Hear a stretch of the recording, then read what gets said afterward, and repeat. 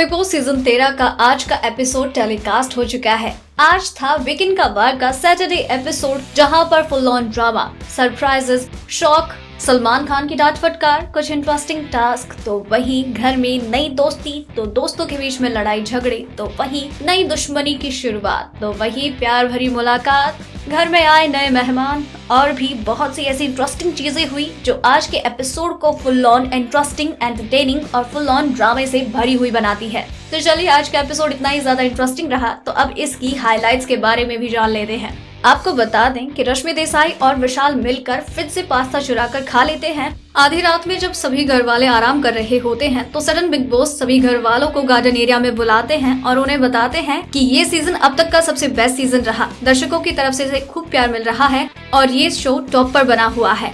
इस पर घर में पटाखे जलाए जाते हैं और सभी घर वाले बेहद खुश नज़र आते हैं। इसके साथ ही बिग बॉस ये भी अनाउंस करते हैं कि शो पाँच हफ़्ते एक्सटेंड हो रहा है और अब फिनाले फेब्रवरी में होगा।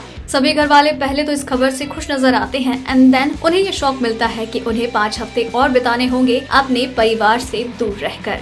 बिग बॉस रश्मि और विशाल को कन्फेशन रूम में बुलाते हैं और उनसे पूछते हैं कि उन्होंने क्या किया है। पहले तो वो थोड़ा सीरियस नहीं होते हैं, लेकिन जैसे ही बिग बॉस का टोन सुनते हैं, वो दोनों सीरियस हो जाते हैं। बिग बॉस उन्हें डांट लगाते हैं और साथ ही कहते हैं कि बाहर अनाउंसमेंट की जाए की जिन लोगों को लग्जरी बजट मिला है, वो बचा हुआ सामान स्टोरेज रूम में रख दे और जैसे ही वो लोग बाहर अनाउंसमेंट करते हैं तो बाकी घर वालों का गुस्सा सातवें आसमान पर होता है। इस दौरान सिद्धार्थ शुक्ला और विशाल का झगड़ा हो जाता है और उनके बीच में भयंकर फाइट होती है। एक दूसरे को गाली गलोच देना एक दूसरे को उंगली दिखाना इन दोनों के बीच में होता है। यहाँ पर रश्मि कहती हुई नज़र आती है कि हम दोनों ने कुछ भी इंटेंशनली नहीं किया और बस मस्ती मज़ाक में हुआ। पारस छाबरा बिग बॉस से साफ़ तौर पर कहते हुए नज़र आते हैं कि आप आगे से कोई भी लग्जरी बजट टास्क करवाना ही नहीं। नहीं तो मैं भी ऐसे ही चोरी करूँगा और फिर देख लेना आपको जो करना है, सो करना है।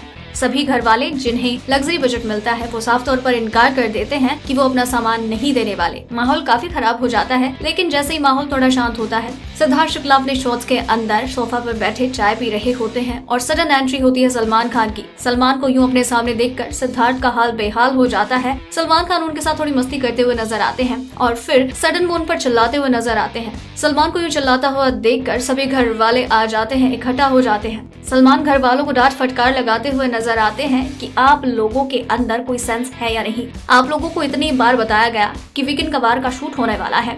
सेम टाइम है, फिर भी आप तैयार नहीं है। ये सिर्फ़ केयरलेसनेस है और कुछ नहीं।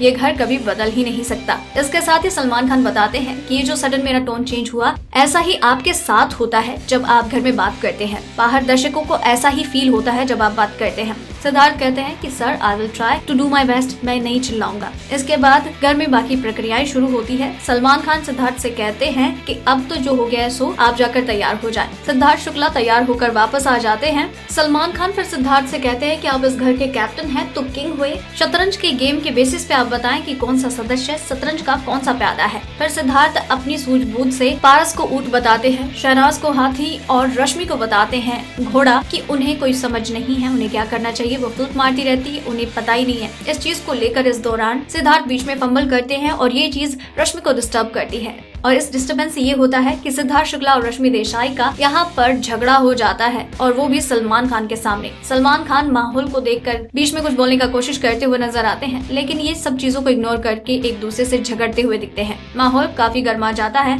एंड देन सिद्धार्थ अपनी बात कंटिन्यू करते हुए सभी प्यादों के नाम बता देते हैं। इस दौरान सलमान खान घर वालों को सिर्फ़ उनकी लतीफी के लिए डांट लगाते हैं। किसी घर वाले से वो कुछ खास नाज नहीं दिखते हैं, डांट फटकार नहीं लगाते हैं। इसके अलावा कलर्स पर प्रसारित होने वाले नए शो शुभारंभ के स्टार कास्ट यहाँ पर अपने शो के प्रमोशन के लिए आते हैं। और साथ ही सलमान खान इसके साथ घर वालों को एक टास्क देते हैं, शुभारंभ टास्क जहाँ पर सलमान खान सभी घर वालों से एक सवाल पूछते हैं और उसके साथ उन्हें उस चीज़ का शुभारंभ करते हुए नारियल फोड़ना होता है। जैसे कि सिद्धार्थ शुरुआत करते हैं दुश्मनी की शुरुआत शेफाली जरीवाला के साथ, आसिम दूरी की शुरुआत पारस छाबरा के साथ, पारस चेला बनाने की शुरुआत आसिम के साथ। और इस तरह से सलमान खान के हर एक स्टेटमेंट पर सभी घर वाले नारियल फोड़कर अपनी नई शुरुआत करते हुए नज़र आते हैं। इसके साथ ही कॉलर ऑफ़ द वीक का कॉल भी आता है सिद्धार्थ शुक्ला के साथ। वो उनसे पूछते हैं कि जब आसिम आपके साथ थे तो आप उन्हें अपना चेला बुलाते थे। अब आप पारस के साथ हैं तो आप बताएँ कि आप क्या पारस के चेले हैं? इस चीज़ को लेकर सिद्धार्थ और कॉलर के बीच में पाँच मिनट तक कन्वर्सेशन होती है। सलमान खान कॉलर को बताते हुए नज़र आते हैं की आपको इतना बोलने की ज़रूरत नहीं है, क्यूँकी ये सब कुछ काट ही देंगे। इसलिए इतना काफ़ी है, रहने दो।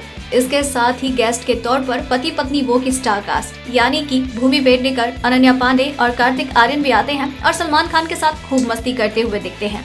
इसके अलावा गेस्ट के तौर पर दिव्या खोसला कुमार की भी एंट्री होती है।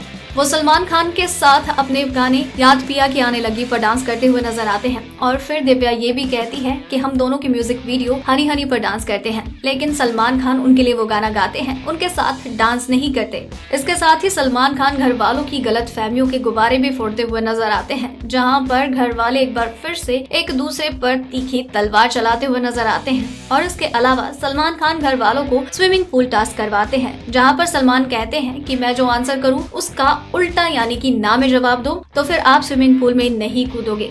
इतनी सारी मस्ती और टास्क के बाद सलमान खान बताते हैं कि देवोलीना भट्टाचार्य की तबीयत खराब है। उन्हें बेड रेस्ट की ज़रूरत है। इस वजह से अभी फ़िलहाल के लिए देवोलीना अपना ट्रीटमेंट करवाने वाली हैं और वो अभी घर से बेघर हो रही हैं। लेकिन जब वो अच्छा फील करेंगी तो वापस घर में आएँगी और आपके साथ कम्पीट करेंगी। तो इस तरह से आज के एपिसोड में देवोलीना भट्टाचार्य जी घर से चली गई हैं अपना ट्रीटमेंट करवाने के लिए।